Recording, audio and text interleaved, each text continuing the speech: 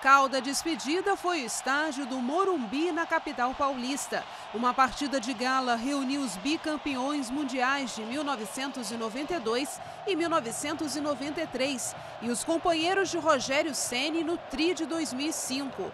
Aos 42 anos, 25 no tricolor São Paulo, o único clube de sua carreira profissional, chegou a hora de dizer adeus. Lesionado, o goleiro não pôde se despedir num jogo oficial contra o Goiás na última rodada do Brasileirão.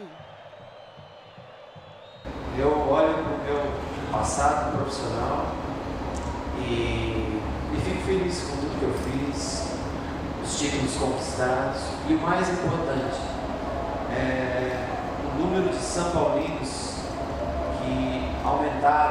nesses últimos anos devido a essas duas gerações que hoje se encontraram dentro do gramado.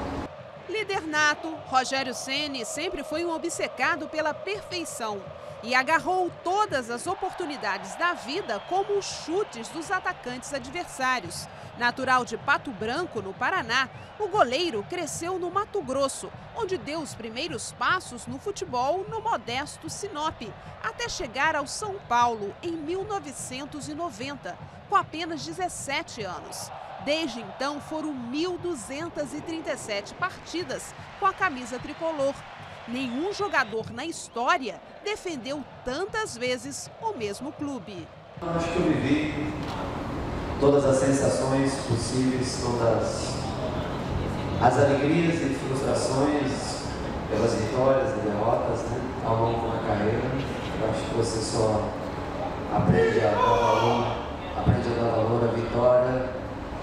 Infelizmente tem que enfrentar a derrota. Né? E me sinto completamente realizado. Outro legado de Sene é o engajamento fora dos gramados, pela atuação no movimento Bom Senso Futebol Clube, que luta por melhorias no futebol brasileiro.